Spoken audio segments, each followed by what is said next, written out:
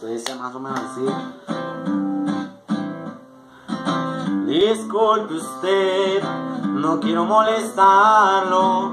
Es necesario decirle unas palabras. Yo sé muy bien que hoy camina de su mano, igual que hace un año. Ella lo hacía conmigo, le voy a aconsejar del modo más amable.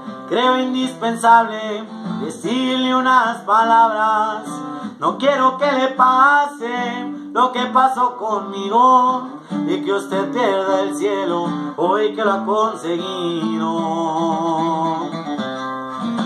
Le gusta mucho que le lleven serenata, que la despierten con un beso en las mañanas, que le regalen una hermosa rosa roja. Ese detalle es el que más la vuelve loca. Mas nunca dude de su amor que de esperarse. Ella no es fiel de lo que pueda imaginarse. Que nunca cruce por su mente traicionarla. Eso, mi amigo, eso la mata.